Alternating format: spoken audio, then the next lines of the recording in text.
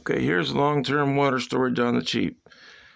I have over 100 gallons of water in these cat litter jugs, as opposed to pails. These are jugs.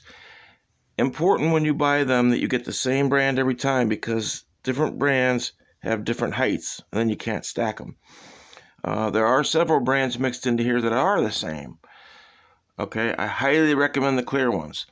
That way you can see what water you have, you can see if it's going bad. If you keep them out of light, I've stored them for years with no problems. They don't leak, they don't get mold. You can put a drop or two of Clorox in them. Now you notice I do have some opaque ones, like right here. You can use those, but again, I prefer the clear ones.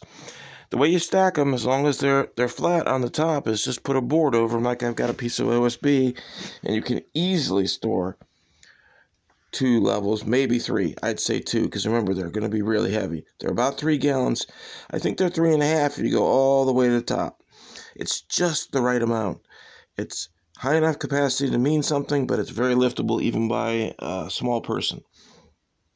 One other thing, my plan is if we run out of emergency water, like they did in Texas, you can carry two of these, no problem, down to the river, fill them up, come back, throw them in your Berkey filter.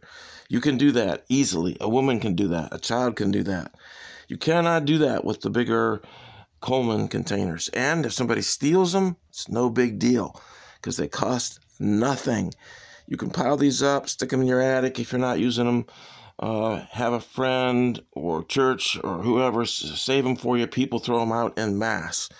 So, saves the environment, helps your cats, makes the wife happy, and you got the emergency stuff for free.